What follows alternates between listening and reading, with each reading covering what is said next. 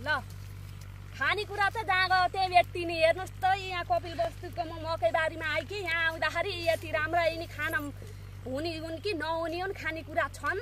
अब मैले त जे पनि खाने मान्छे मैले ठेस्छु हेर्नुहोस् यतातिर नि यहाँ बस्न आउँछ भाइ हुनुहुन्छ रहर गर्न यिनी खान त दिँदै भन्न र दुई महिना बसेको छौँ यी खान त नि त भनेर खाना लगाएको छौँ यी कप्प खान्छौँ मिठो हुने रहेछ। हेर्नुहोस् कपिल बस्तीतिर नि छैनन् भन्न नपर्ने रहेछ।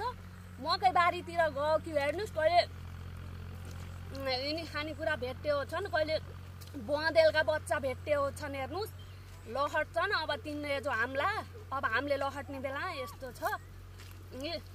ठेस्सेको छ खाने भयो आउनु होला जाति बिति मिठो हुने रहेछ। यिनी भाइ फेरि मूर्ति जाइ हुन् के बोल्दैनन्। जाति बिति लजाउने केमा पहिलोचोटि देखेर गर्छन् बा।